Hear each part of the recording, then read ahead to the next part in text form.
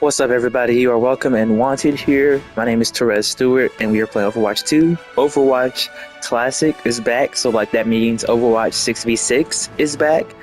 Um, and it's gonna be here for a limited time. So definitely like hit them up in the comments on Twitter and on the um, Blizzard forums.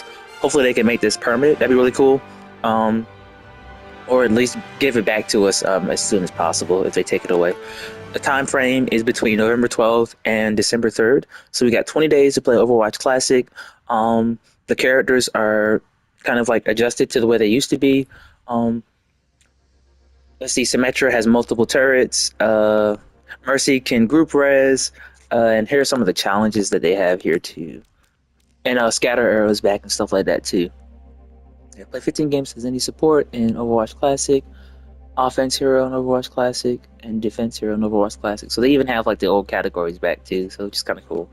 Um, and I think uh, it's 21 characters, 21 heroes. Um, so I don't know if they included the old, the new ones that they added. I'm assuming they didn't. As it says here, revisit iconic maps, enjoy the original 21 hero roster, and embrace the chaotic fun of 6v6 with no limit team compositions.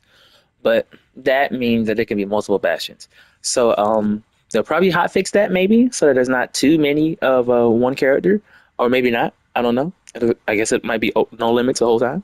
But enjoy it, hop into it, play it.